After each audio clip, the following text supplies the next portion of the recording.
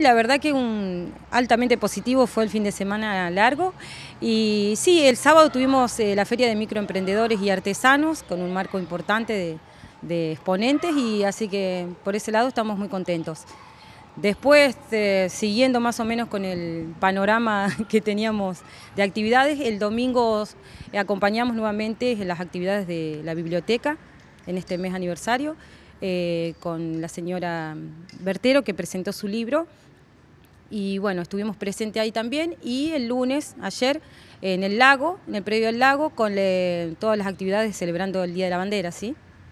Con artistas locales de la zona y con un buen marco de público. ¿Cuántos fueron los, los artesanos y los eh, microemprendedores que expusieron en la feria? No tenemos, eh, no tengo el total en la cantidad, pero fue un buen marco de, de emprendedores y de artesanos, por suerte. También estuvieron presentes el lunes que de paso aprovecho y a invitar a la gente que se acerque y compre los productos que son muy lindos, están a muy buen precio y bueno, y le damos una mano a ellos que, se dedican a esto, sí.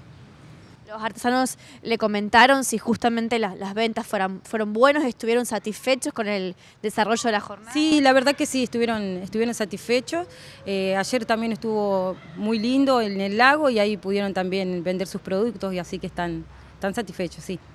Con respecto a lo que fue el Día de la Bandera, eh, referías que eh, realmente fue muy, muy bueno el marco de público, también el clima acompañó, ¿no es cierto? Sí, el clima acompañó, por suerte hubo un lindo día y así que la gente se acercó y pudo disfrutar de, toda la música de, los artistas nuestros, ¿sí? ¿Quiénes se presentaron?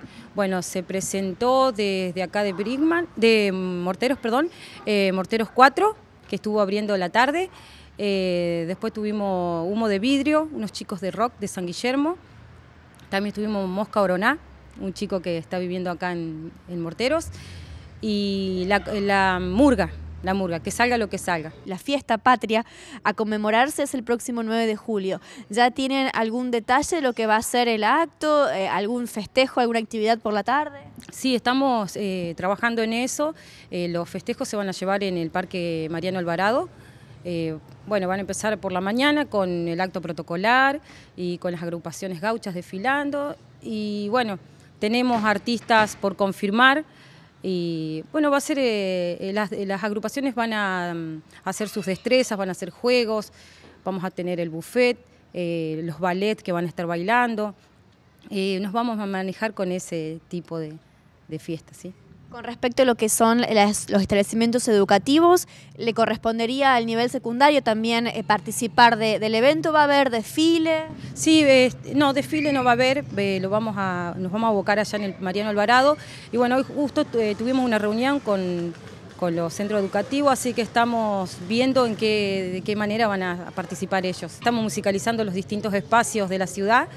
Eh, que estuvimos musicalizando la Plaza San Martín, el ferrocarril, así que estamos con eso y estamos abocados, por supuesto, a los festejos del Bicentenario y de los 125 años de la ciudad.